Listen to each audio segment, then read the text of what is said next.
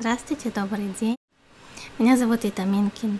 Может быть, вы, если смотрите сайт Улдотуру, то вы читали ответы на вопросы по разделе «Семья» или вы читали рассказы в блоге.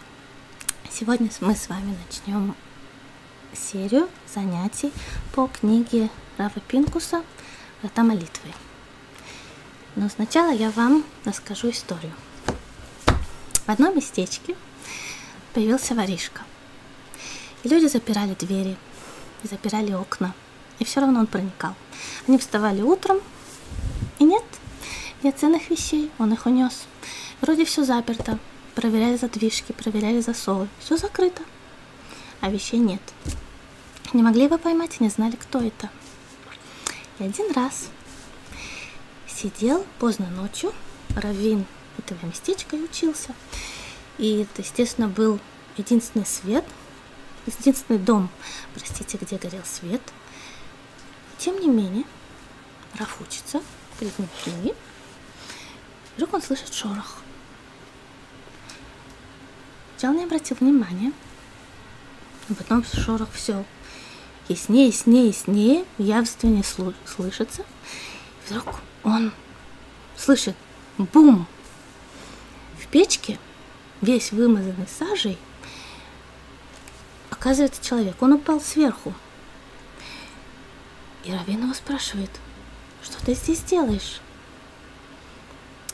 А тот, кто выпал из дымохода, не растерялся. Говорит, ой, Рэбе, у меня к вам срочный вопрос. Такой срочный, что ты именно таким образом сюда попал? Да, очень-очень срочный вопрос. Прям мне не терпит отлагательства. Я должен немедленно знать ответ. Ну хорошо, говорит Равин. Какой у тебя вопрос? Это он говорит, у меня вопрос такой. Как мне отсюда быстрее выбраться? И это то, что часто происходит с нами, когда мы затрагиваем вопрос, связанный с молитвой, или саму эту тему.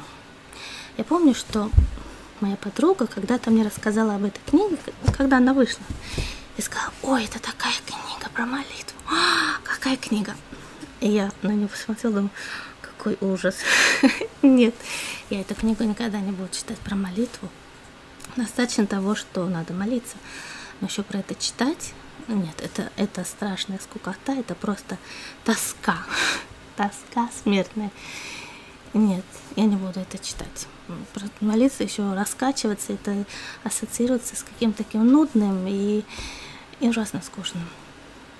И тем не менее было в ее глазах что-то такое, какой-то такой блеск, что я все-таки решила посмотреть, что это за книга. Можно сказать, что она изменила мою жизнь. И теперь, даже после того, как я прочитала несколько раз, всегда бывают и в жизни моменты, когда не просто, когда сложно, или когда неспокойно на душе, или когда чувствуешь, что что-то нужно, какой-то какой-то духовный заряд, и чего-то не хватает, что-то ушло. Очень важное из жизни, из ощущения жизни.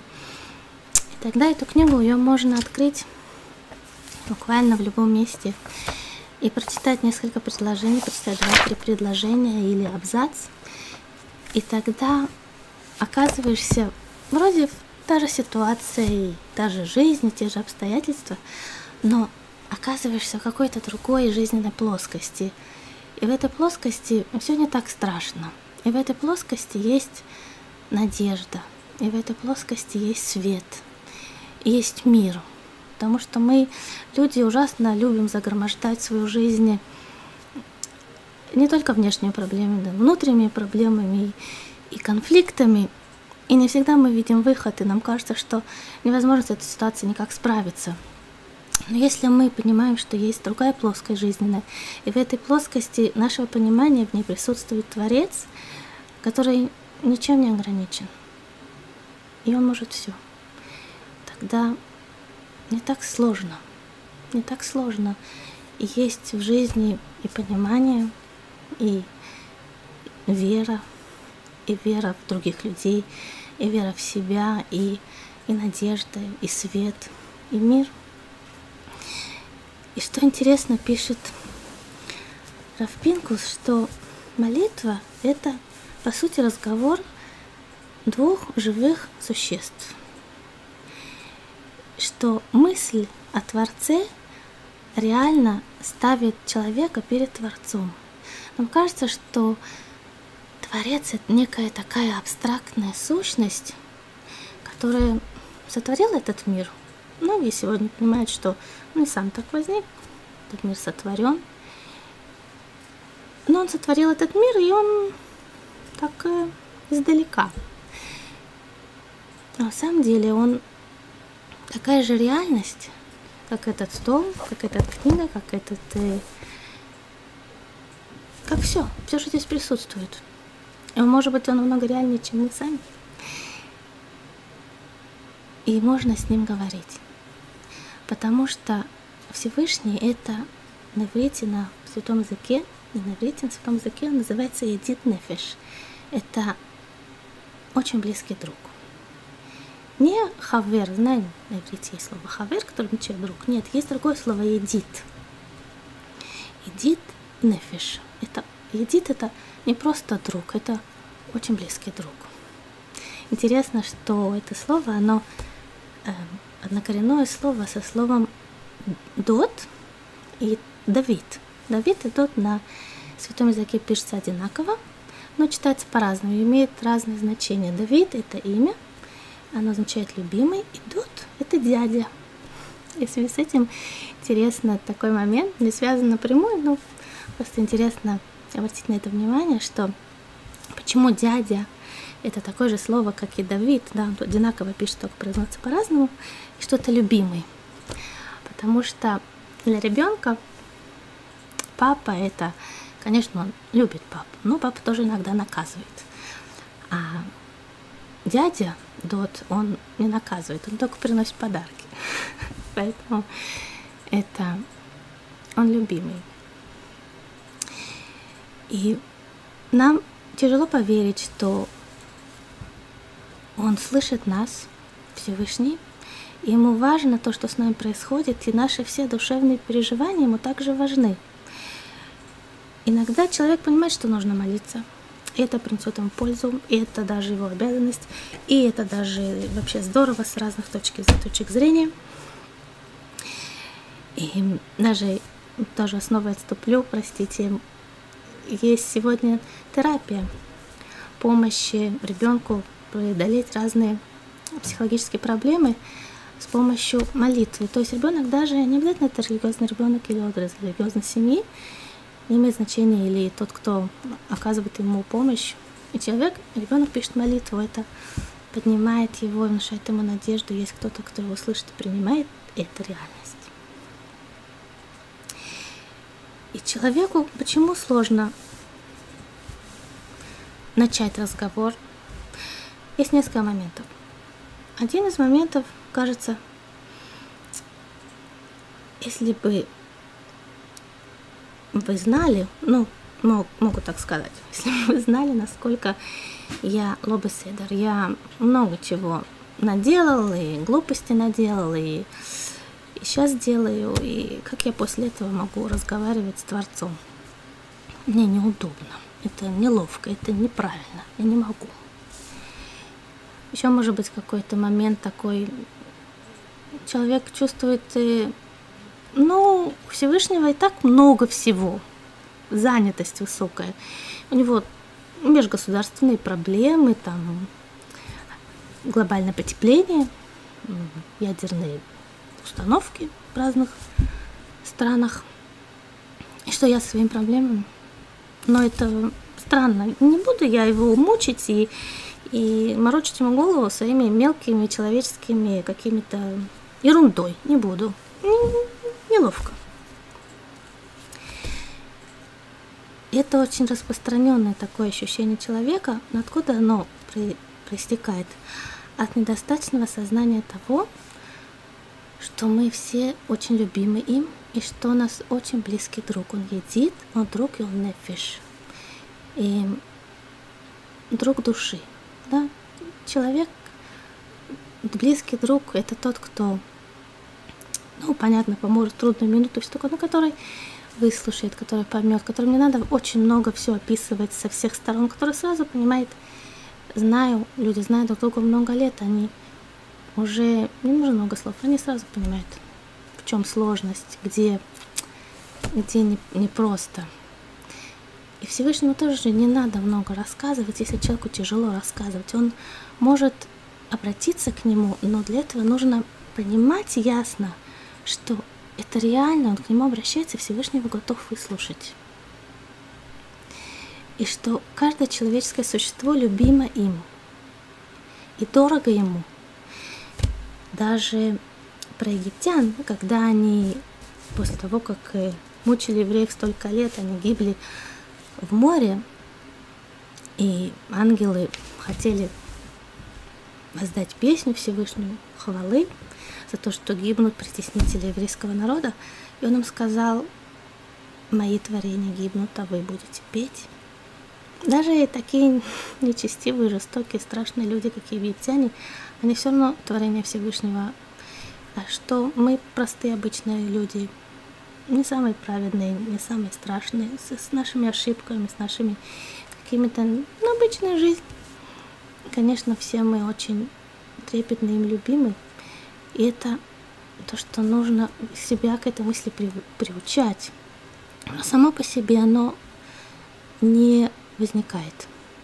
И мы можем думать, ну, кто достигнет высоты такой целостности в молитве. Наверное, это тот человек, который на таком уровне духовном, он, э, у него чистота, кристальная мысли, он, он высоко стоит в духовном уровне. На самом деле, говорит Рафпинкус, это не так. То есть это совсем не так. И даже он говорит наоборот, если человек слишком занят своим духовным уровнем, и он это его уводит от настоящей жизни, это его от искренности, от себя, от других людей. Не это то, что дает человеку на самом деле глубокое понимание и рост в разговоре с Творцом. Не это, а совсем другие вещи. Это время. Во-первых, это время.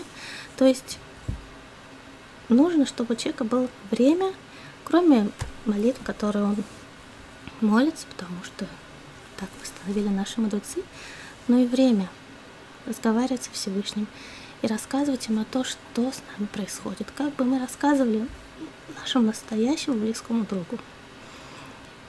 И можно рассказать обо всем, и можно просить обо всем. Даже э, утром спешкой не можем, мы не можем найти второй ботинок ребенка, и можем Всевышний, пожалуйста, пожалуйста, очень нужно. Или мы не можем не знаю, найти зимнее пальто такого фасона. Кажется, какая глупость, что его, я буду его беспокоить фасоном зимнего пальто, которое хочу купить. Любая вещь мы можем у него просить, потому что отсюда проистекает понимание, что нет ничего, что не касалось бы его. Он в нашем внимании, может быть, мы недостаточно ощущаем его величие, потому что только кто-то очень-очень большой, кто-то по-настоящему великий, может разговаривать с кем-то маленьким. Обычные люди тяжело разговаривать с маленькими, у них не хватает терпения. И маленький это может быть или маленький ребенок, или человек э, эм, не очень высокого уровня развития и так далее. У людей нет терпения.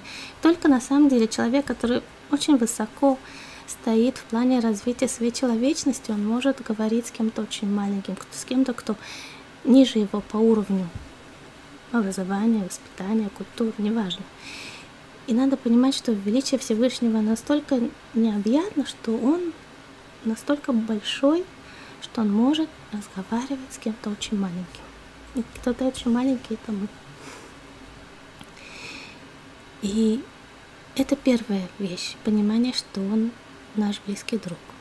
Второе понимание, то, что мы сейчас сказали, это величие его в в районе восприятия, которое мы не в силах объять. То есть у нас наши материаль, материальные когнитивные параметры определения реальности, они не достают до такого уровня, которое могло бы понять и охватить и воспринять его огромность. Это касается, я не только говорю про духовные миры, которые мы вообще ничего не понимаем в лучшем случае, но даже в физическом плане мы можем представить, о каком, даже если мы говорим о нашей галактике, какого она размера, даже наша физическая галактика, в которой мы живем, мы можем представить себе, какого это какого это объема, какого это величины это, это пространство. Вы знаете, есть звезды, которые горят на небе, мы их видим в вечернем небе. На самом деле они потухли. Они много лет наз- назад, их свет потух, они уже не горят, но расстояние между нами и ими настолько велико, что свет продолжает идти до нас, хотя они уже не светят. То есть это десятки, сотни, тысячи световых лет. Мы можем это понять. Или то, что касается, касается времени, да, второй параметр определения и физического мира, пространства, времени, то, что касается времени. И время, мы знаем, что такое время. Время – это определение только физического мира – когда Всевышний создал этот мир, он создал его десятью речениями. Но если мы посчитаем, этих речений девять, не десять. А где же десятое речение? На самом деле оно не десятое, оно первое. Когда Всевышний создал мир, как мы это читаем в Торе, вначале сотворил Бог небо и землю. В начале это и есть то самое первое речение, которое сотворило время, потому что без времени нет физического существования. Но Всевышний, Он над временем. И то, что нам кажется сейчас неразрешимым, для Него, который выше времени, Он видит всю ситуацию целиком в перспективе. Мы видим только маленький кусочек, так как будто мы ездим, и едем на поезде и видим в окно поезда ландшафт, который между да, перед нашими глазами. Всевышний видит всю эту карту сверху. Да, и нам кажется, что время проходит, потому что мы едем с одного пункта в другой, и что-то меняется, какая-то есть последовательность событий. Но он видит все сверху. Он видит всю последовательность событий, то, что над временем. И его имя Всевышнего, одно из его имен, тот, который был, есть и будет, оно как раз и определяет эту власть над временем. А второе имя, одно из имен Всевышнего, это место, маком. Да? То есть наше существование, а не то, что он, мы существуем и он. Мы существуем, он образовал мир таким образом, что мы в нем, мы существуем в нем, и он место этого мира. И третий момент – который может нам помочь понять, что такое молитва и правильно к этому подойти, это понимание нашего призем... нашей приземленности, кто мы такие. Так, как сказал один из э, писателей, мы пыль, пыль э, вечности. Если мы представим себе вечность, как можем представить, мы не можем себе представить, но представить себе и гору зерна, которая высотой с трехэтажный дом. Да, такой пример приводят наши мудрецы. И раз в тысячу лет прилетает птичка, берет одно зернышко, одно, и улетает. И через тысячу лет прилетает другая птичка и берет еще зернышко. И так раз в тысячу лет. Представляете, сколько времени потребуется, чтобы разобрать эту гору зерна величиной с трехэтажный дом? Фантастическое количество времени. Кто мы такие? Сколько времени мы живем? Какая-то ерунда. И вместе с этим надо понимать, что нельзя терять надежду. Нельзя терять надежду. В любой ситуации, в любой ситуации мы должны знать, что несмотря на нашу никчемность и земную приземленность, это то, что мы живем во времени и ограничены пространством у нас есть друг, душевный друг, которому мы можем говорить все, которому мы можем все всем поделиться. И у каждого человека есть внутри какая-то такая ниша, которой он не всегда может со всеми поделиться. Или он стесняется, или он даже не может, не знаю, слов он не может таких подобрать. Или он пытался когда-то поделиться, но его не поняли, даже близкие люди, которые его хорошо знают, он не, они поняли, потому что бывают такие моменты, которые человек даже не может словами это передать.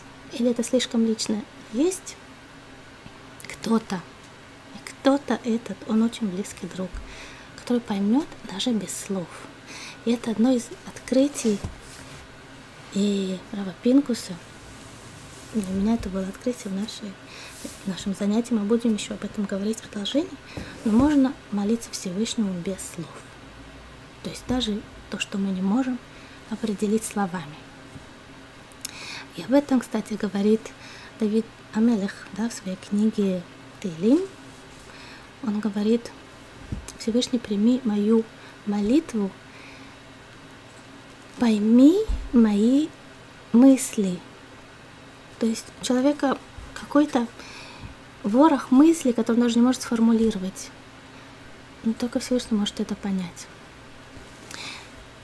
И кроме того, другой момент, когда человек не может сформулировать, иногда бывает такая тяжелая ситуация, что человек или ситуация, которая состоит из настолько многих э, наслаивающих друг на друга сложностей или проблем, что человек вроде пришел молиться, но с другой стороны он не, не понимает, с какого конца вообще это начать, начать об этом рассказывать. Это настолько все запутанно и сложно. И он говорит какие-то два слова и, и все. Или может быть ситуация, когда человеку очень тяжело, очень тяжело, и он может только кричать. Не обязательно кричать так, чтобы все рядом шарахались. Да? Можно кричать в сердце.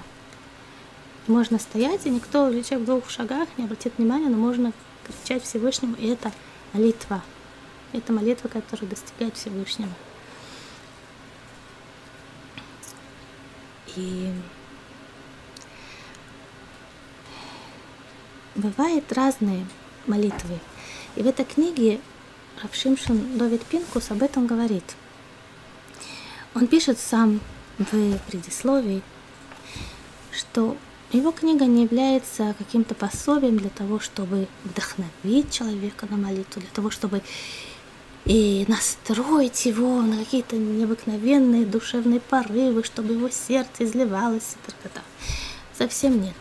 Его книга о том, что есть 13 путей.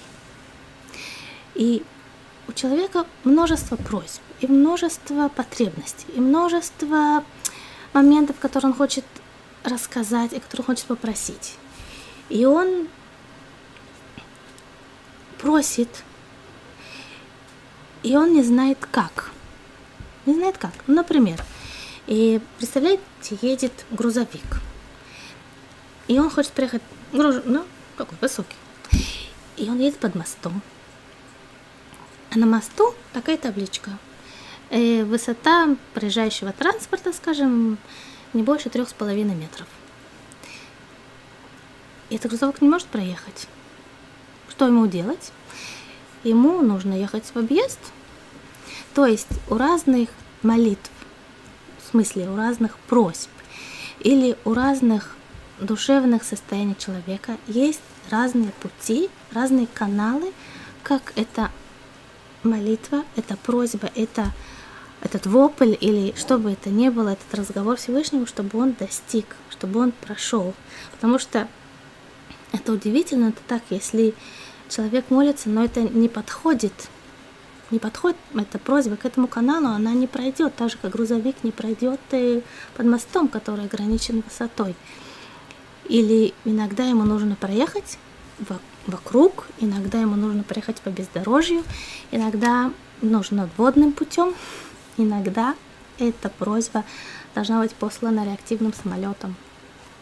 Иногда должна быть послана ракетой, а иногда она должна быть послано спутником, да, спутник висит, и он все время посылает сигнал, все время сигнал, еще сигнал, еще сигнал. Вы понимаете, что это пример. И человек, когда начинает молиться Всевышнему, бывает часто он не может молиться. Не может, у него не, не выходит. Вообще нет настроения. Да? Или он настолько душевно сметен, смятение душевное, или так сложно ему, что он не может сосредоточиться, или он, и мысли у него в разброс, и он что-то такое говорит, и не получается никакого молитвы. Он его, ну, что-то сказал, а сам не понял, что. И говорит Равпинкус, именно когда тяжело, именно когда не получается, именно тогда нужно молиться, именно тогда нужно разговаривать со Всевышним. И он приводит пример, если, представляете, ну, это будет для юных людей, ну, мы можем понять этот пример. Если люди пошли искать клад, да? Том Сойер, помните? Как они, мальчишки, любят искать клад. Ну, скажем, взрослые сознательные люди пошли искать клад. И они взяли лопаты, и они начали рыть под деревом, по карте, которую старые пираты закопали под дубом. Неважно. И они копают, копают, нет клада, копают, копают, копают, копают, тоже почти обкопали все дерево снаружи. И они вдруг лопата уткнулась в что-то тяжелое. Идет. И что они говорят? А, ну тут не получается копать, пойдем отсюда. Скажем, вы что, вы с ума сошли? Вы не получается копать? Вы на что-то наткнулись? Так именно тут и надо копать, именно тут и надо приложить усилия. И то же самое касается молитвы. Человек чувствует, не идет, значит, на, на сердце у него лежит такой камень, или он настолько в смятении, или что такое, именно здесь ему надо приложить усилия, надо молиться. Только нужно знать, какое усилие. Иногда бывает усилие несоразмерное, оно не подходит – не подходит к этому каналу. Надо знать как. То есть для того, чтобы достичь цели, чтобы наша молитва действительно принесла пользу, кроме того, есть две вещи. Есть разговор со Всевышним. Это уже для души большой свет. Да? Если нам повезет, и мы умеем правильно настроиться, это большой свет, большая ясность. И кроме того, если человек просит, он хочет, чтобы его молитва достигла Всевышнего, чтобы он ответил. И именно тогда нужно молиться. Нужно молиться в соответствии с тем, как мы уже сказали, что подходит для, для этого случая. Рафпинкус приводит такой пример. Скажем, молитва Шмонайстры. Нам мудрецы открыли секрет – как они сказали, мы можем общаться к Творцу, чтобы Он принял нашу молитву? Во-первых, нужно сначала поблагодарить, а потом просить. Представьте себе, пришел сын к папе, к отцу и говорит, папа, дай денег, папа, очень нужны деньги, денег, пожалуйста. Он настроился, он он э, знает, что он говорит, он не просто так слова бросает на ветер, он обращается к отцу, он знает, что это его отец, требует денег. Не очень приятная ситуация. Но если взрослый сын придет и скажет, знаешь, папа, помнишь, три года назад очень было тяжело, просто была критическая ситуация, и ты так нам помог.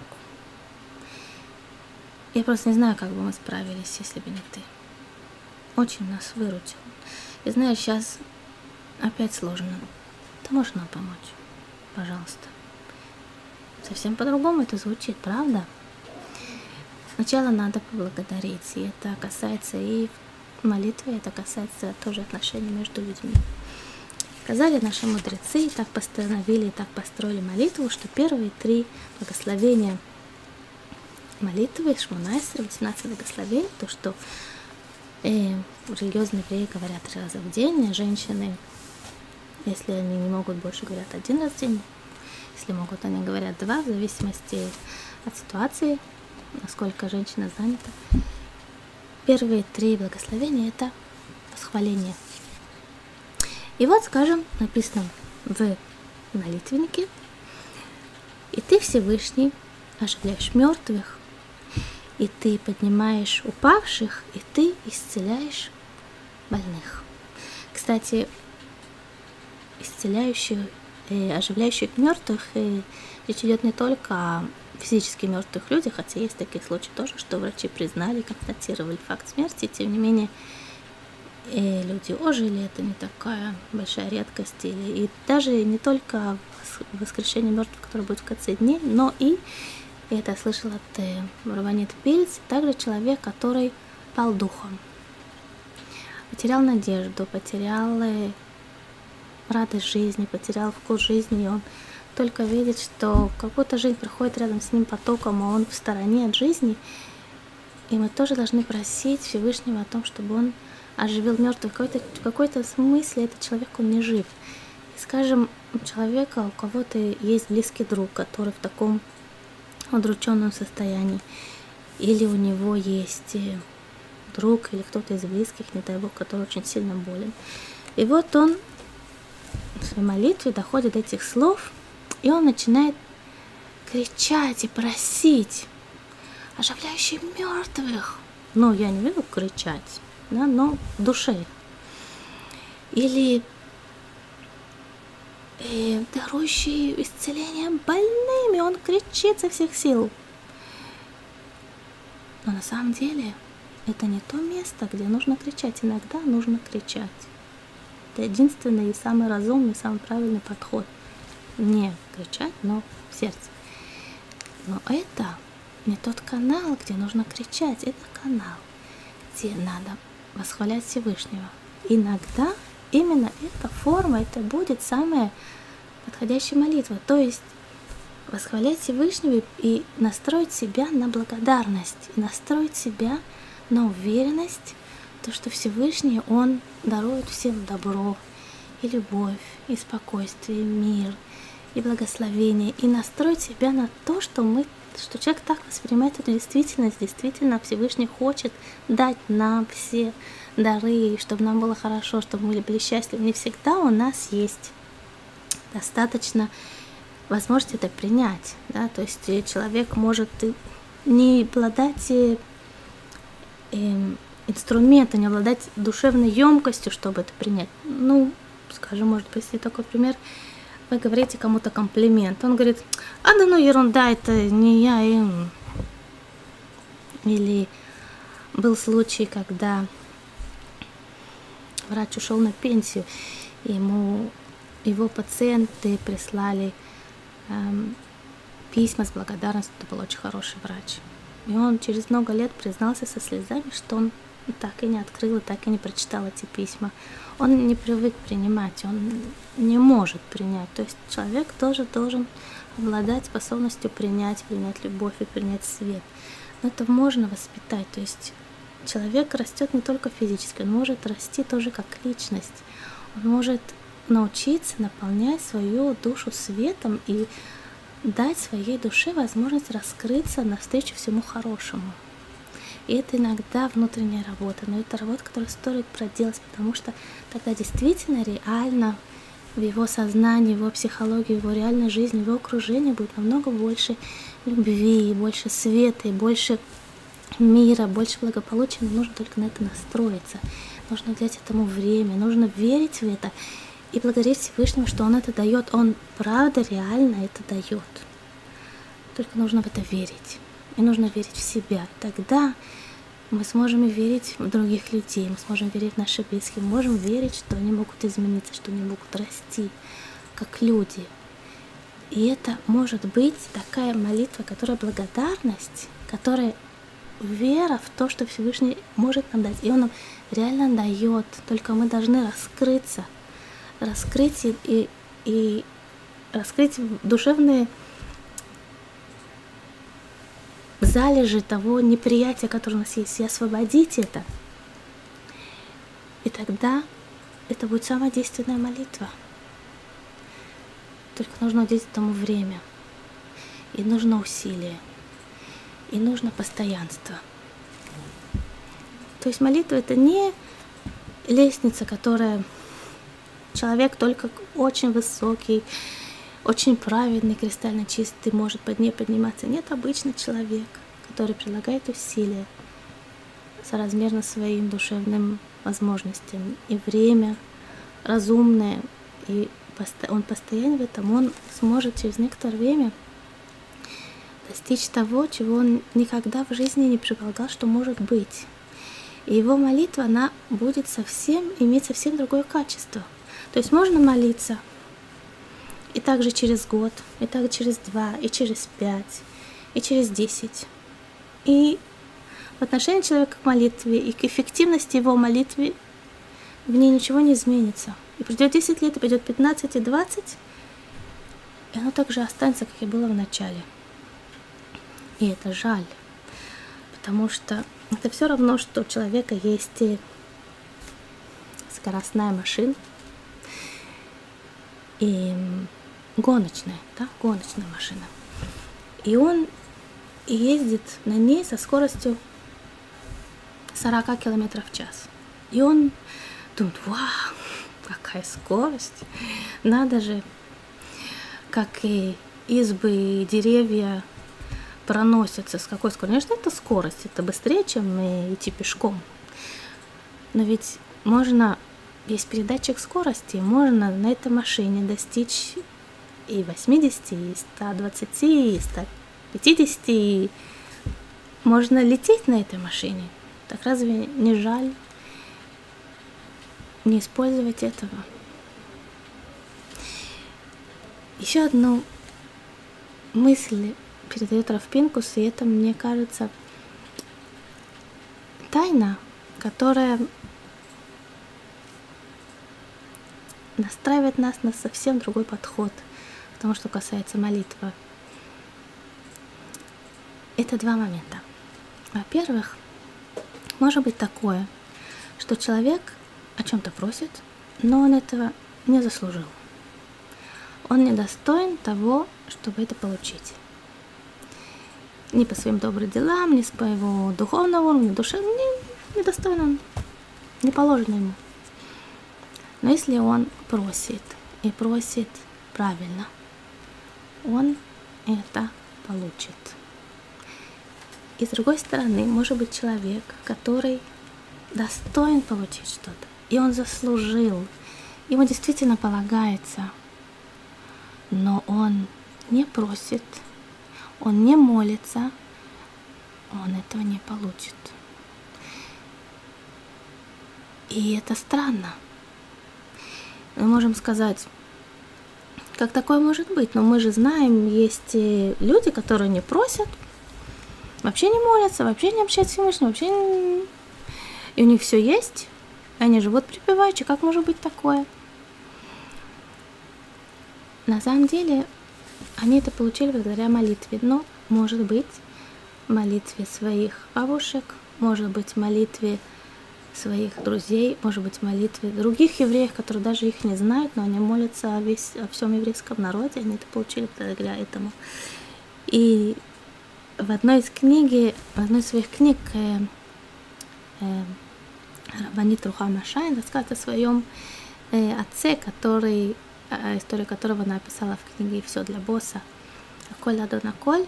В одной из своих книг она пишет о том, что когда ее отец был уже в преклонных годах, это был очень правильный человек, он большую часть своей жизни провел в Америке и пытался наладить там и построил там еврейскую жизнь. Так вот, в их преклонных годах, когда она навещала его, она видела, что он каждый день в своей комнате запирался на ключ, и он полчаса молился. Кроме того, что он ходил в синагогу, и одна жена его спросила, о чем ты молишься. И он сказал, я молюсь о евреях России. Каждый день полчаса он молился о нас с вами. И кто знает э, то, что мы получили в жизни, то, что получили наши близкие друзья, или все еврейство России в целом – как знать, может быть, это заслуга тех его молитв. То есть всегда есть э, только одно, что приносит человеку и в духовном, и в материальном плане дары жизни, это только молитва. И в связи с этим интересный момент. Мамы знают, что дети в детстве часто болеют. Да, маленькие дети, особенно зимой, они просто не вылезают из э, то кашель, то насморк, то горло, то уши, то снова только вылечил, снова пошел в садик, пошел в школу, опять подхватил какую-то инфекцию, инфекцию и так до бесконечности. Для чего это так? Пинкус говорит об этом в одной в другой своей книге. Он говорит, что пишет о том, что человек, маленькому ребенку, но который ему в жизни потребуется очень много молитв. Ему потребуется в жизни, будут у него разные ситуации, где он даже сам не может за себя молиться, он не всегда человек в состоянии, но ему нужно, что-то очень нужно в его ситуациях, а это может прийти только с помощью молитвы, потому что ничего не может быть без этого. И откуда это придет? Это из тех молитв, которые его мама молилась, когда ему было 3-4 или сколько там лет, когда у него болели уши, когда у него болел живот, когда у него болело горло. И мама молилась о том, чтобы он выздоровел.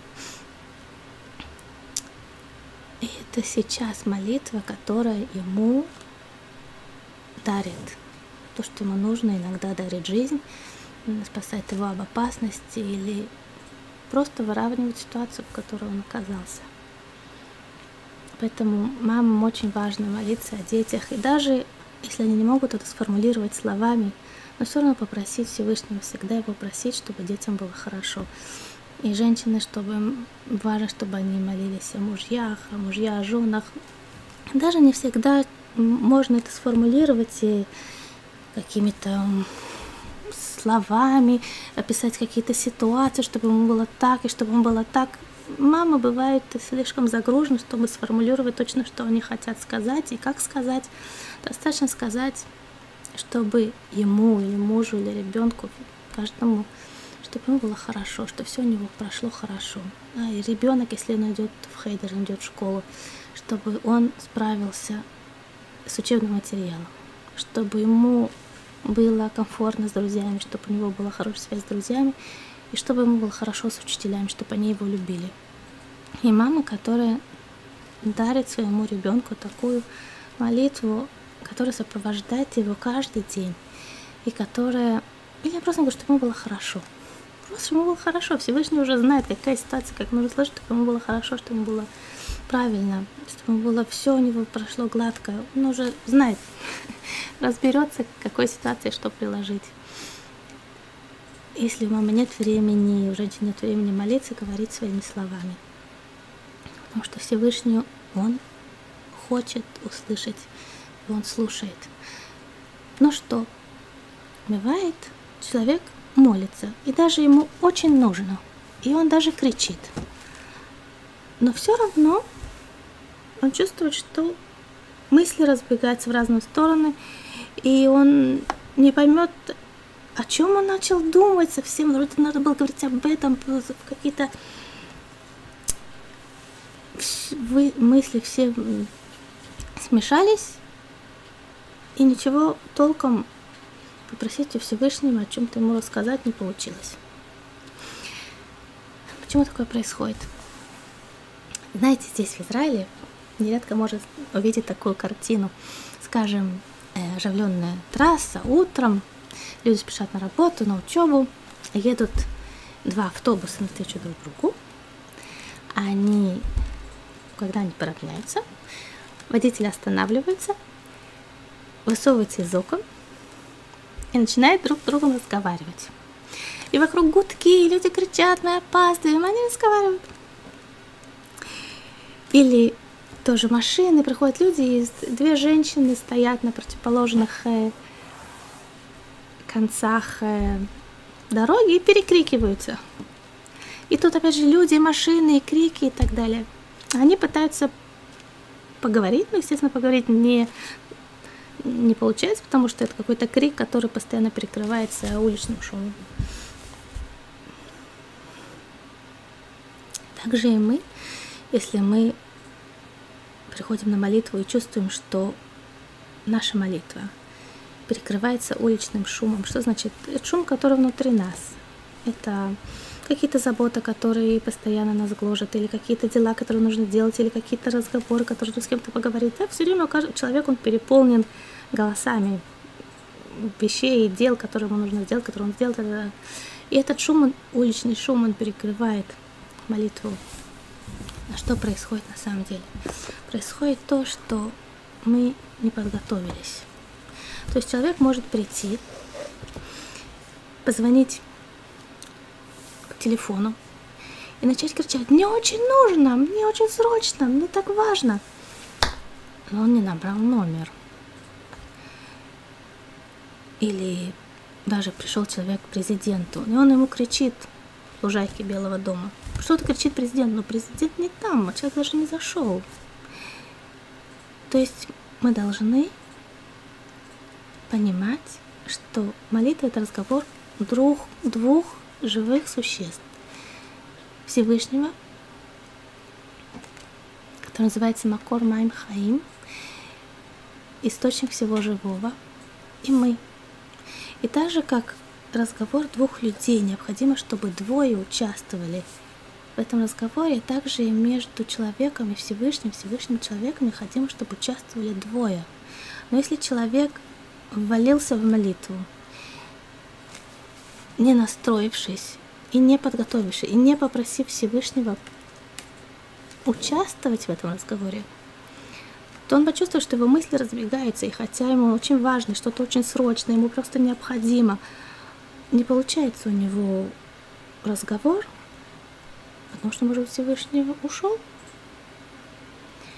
А как мы можем знать, что он здесь с нами? Это какое-то время перед тем, как мы начали с ним говорить, настроиться, то есть подумать о нем. И Равпинкус пишет, что мысль, мысль о Боге – это реальное приближение к Богу, и Бог приближается к тому человеку, который о нем думает. Мысль, только сама мысль – это уже приближение Богу, Бога к этому человеку. Если человек подумал, перед тем, как начать молиться, какое-то время он настроился, то это само по себе уже позволяет ему начать разговор с Всевышним, потому что Всевышний присутствует, он тут. То есть либо время и настрой, сознательный настрой, с кем я сейчас начну разговаривать. Или выражение благодарности. Выражение благодарности это тоже настрой, это тоже просьба к Всевышнему присоединиться разговоры, которые я хочу с ним вести.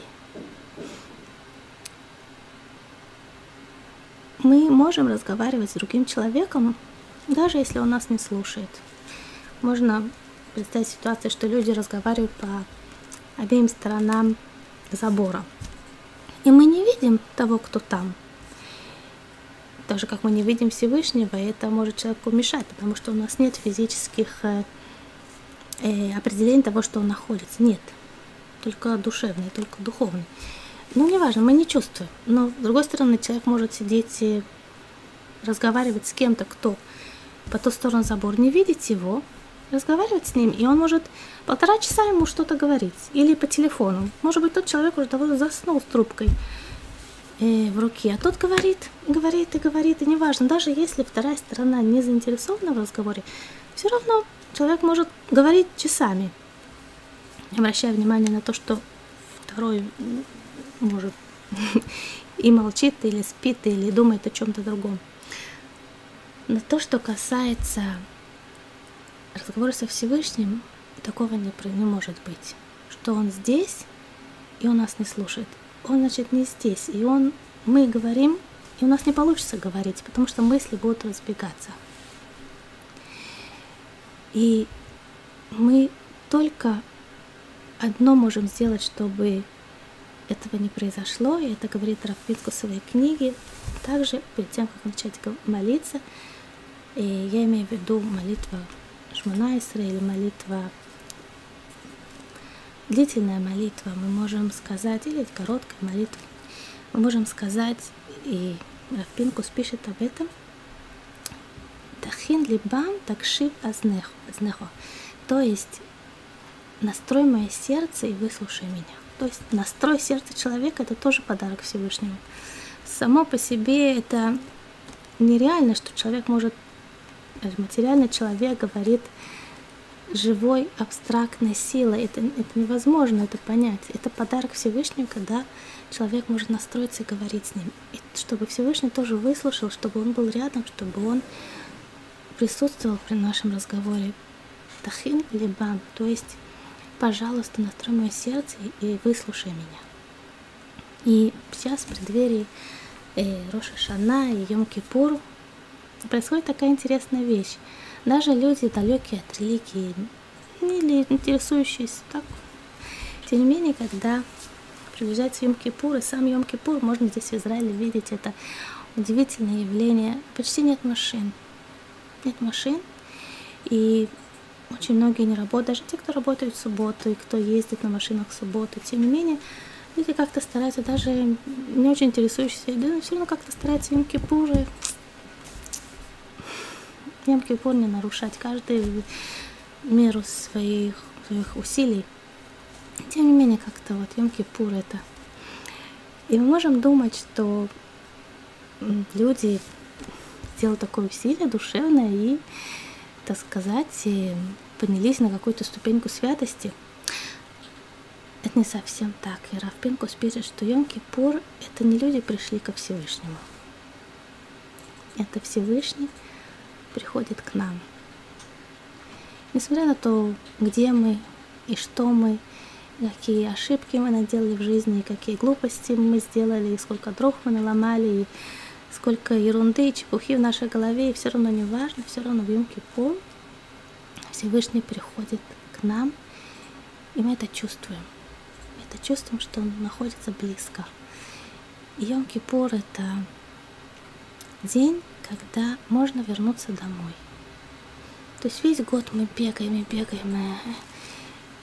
Правильно, да, называют Роша Шана, и Новый год это судный день, и Йом-Кипур, день искупления. Это, кажется, такие тяжелые названия, и не совсем понятно, что нам делать, и как себя настроить. Это слишком что-то такое громоздкое, которое, наверное, для обычных людей это не очень подходит.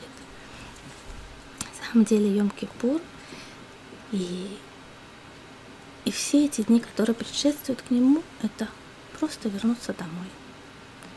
Поговорить со своим старым, любимым, настоящим, самым настоящим другом. Я желаю вам много любви, света и мира, счастья в вашей душе и вашей жизни. Всего доброго.